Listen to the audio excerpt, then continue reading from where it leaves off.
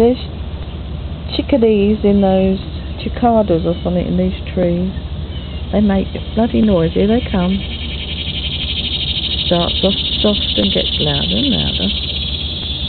Quietens down. Quiet for a moment and they'll start again. They will indeed. Here they come.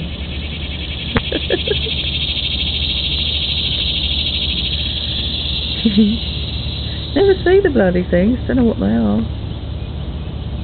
Some kind of insect. Or frog. Someone told me they were tree frogs.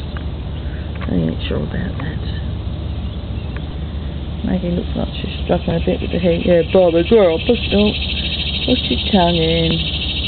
Or have a scratch. Look at me maters. I've got five of them. They're not very big. I keep grass and seed this pot, look. And the best one at the. Pretty, huh? The grass is all dried up.